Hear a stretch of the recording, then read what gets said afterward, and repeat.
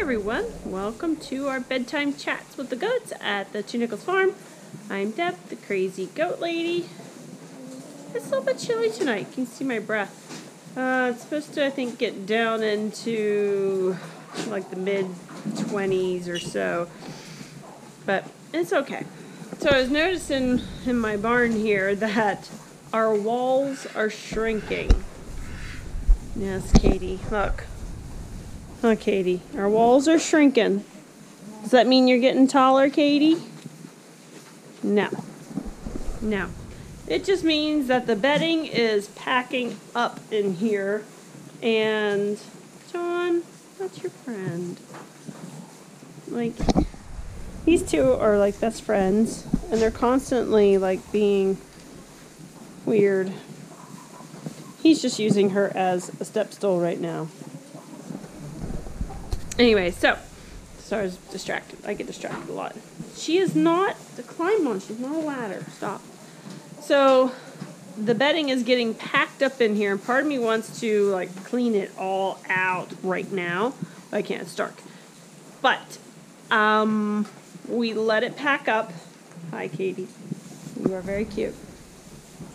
We let it pack up and get deep during the winter so that it actually one provides a nice squishy squishy bed for the goats. It's not like bouncy squishy, but it's nice and soft. And as it starts to compress, it starts to decompose and then it creates heat. So essentially the goats are sleeping on a heated soft bed. But my walls are shrinking and I'm getting closer to the rafters. So here at some point in the next few weeks, we will probably start cleaning out the barn sections at time. That way, there's still sections if it gets really cold, they can still sleep on the on the pack. And then that way too, we are just starting the process of cleaning out. Because at some point, I got to get that cleaned out in front of the pens, and then get the pens cleaned out. I like to do that at least two weeks before we start kidding, which would be the beginning of March when we have to get that cleaned out so that I can get it cleaned, I can get it limed, and it can rest without any sort of bedding in it for a little while. Because I like to be able to get some of my girls in at least, oh, sometimes up to five days, depending on how they look before their due date. So, but yes, the walls are shrinking. Like you can see, like over here by my door, how I have it sort of dug out a little bit so that I can still open the door because of where it is, if you look across, yeah, we're a few inches deep here, which, like I said, is fine. Hi, Sprinkles. How are you today? So I registered Sprinkles last night, uh, and her name is Sprinkles Galore. Yeah, that's what I named her. Sprinkles Galore. Because her nose and her ears have sprinkles, look like they're all sprinkly. So, and Sadie here, because um, her mom's a Lexus. Woo! Her brother's a Lincoln. You are just goofy. And her grandma is a Mercedes. Her great great great grandma is a Mercedes.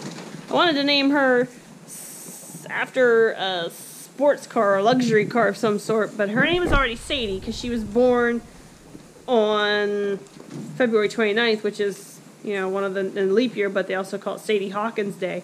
So I wanted to name her Sadie. So I named her Senna Sadie because McLaren Senna is a really nice car. Can't call her McLaren because that's sort of a boy type. I guess it could be a girl's name, but so I named her Senna Sadie. So she at least has her car name. Oh, and she's still Sadie. Good grief, sprinkles. Look at her nose. Look how cute that is. Look at that. Look at that frosting on her nose and her ears. Look how cute her ears are. Look. I love them. You're just so cute. Yes, you are. And you're very bad. And you're very tall already. Like, I'm not like extremely tall. I mean, not at all. But I'm not extremely short, no matter what George says. But like her standing up on her hind legs, and there's still a good distance between us. Yeah, she's getting tall. I know. I love you. You're a good girl. I then you like to chew on stuff. I know. Uh, it's very bad and naughty of you. So, yeah. That's good. It's a very long body, which is good. So, that's pretty much that part of the talk. That's a I really thought about. Hi, I had to take Georgie to go get blood work done today. And I went and visited my friend Elena from Black Valley Farm. We had a nice chit chat. We haven't seen each other for a little while, so we went and had a nice chit chat. And I got two baskets from her that she sells. She gets them from Ghana in Africa. I think that's right how you say it. Ghana. Yeah, in Africa. Am from a lady and her family that weave baskets out of, I think, it's reed grass. So, very nice. I will take a picture of the brochure of my baskets and I'll post it tomorrow for you so that you can see and have some information. If you want to buy some to support a, a family in Ghana, that's a good way of doing it because it's they're earning their money and there is pride in that. I mean, giving people things is is noble. It's nice. It's good. Sometimes people just need to be given gifts, and it's nice to give gifts. And sometimes people feel the need to earn. So, like, um, I like to work, so.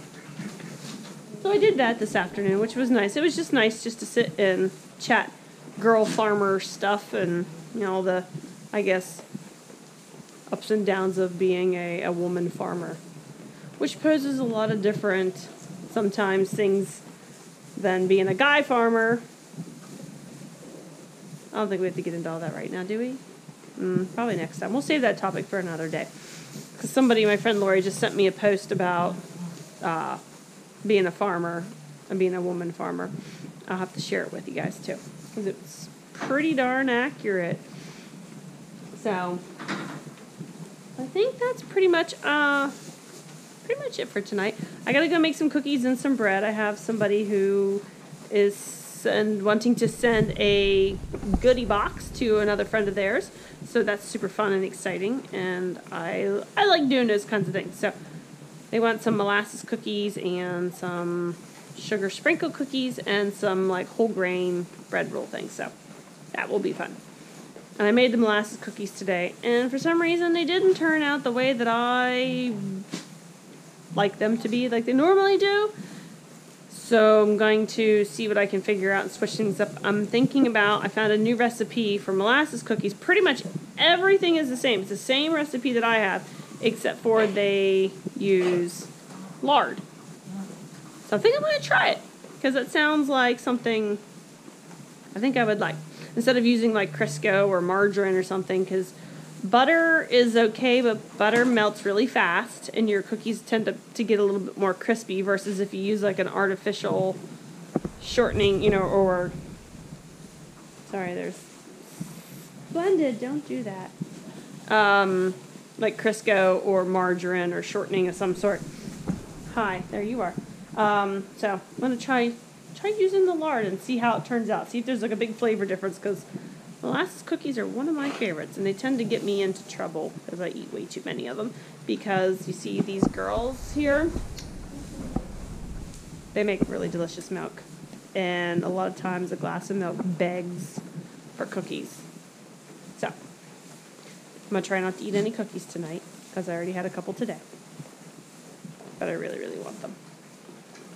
Cookies are really good. Cookies are life. Hi, John. Cookies are everything. Well, not everything, but pretty darn close. So, all right, I will hopefully see you guys tomorrow. Thanks for joining me. Don't forget to please subscribe. I'm supposed to say that. I don't know. I guess so. So if you want to, please subscribe. And then that shows YouTube and them that you, you know, like my videos and I guess then they'll show them to more people. I, I really don't understand any of it. So I'm just going to go now. All right. Good night.